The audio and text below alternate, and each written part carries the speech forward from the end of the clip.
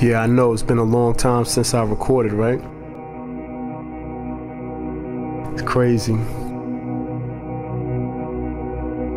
Parenthood has really invigorated that side of my creative self.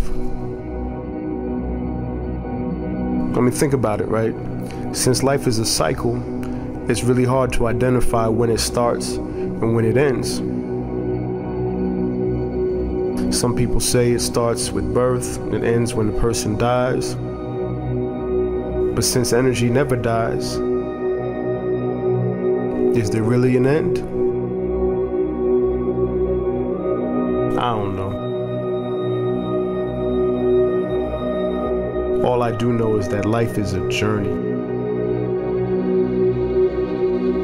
Like made up of several journeys, you know?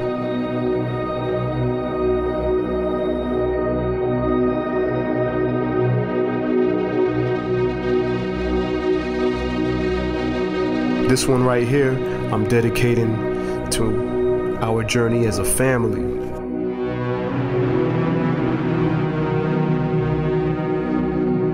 Myself and their mother as parents,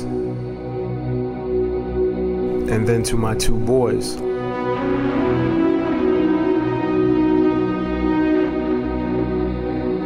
Because this is a journey we take together.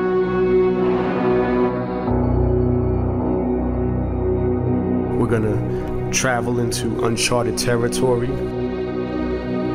But I want them to know that no matter what happens, I don't want them to ever worry. We're gonna ride with them all the way to the end. That is, if there is an end.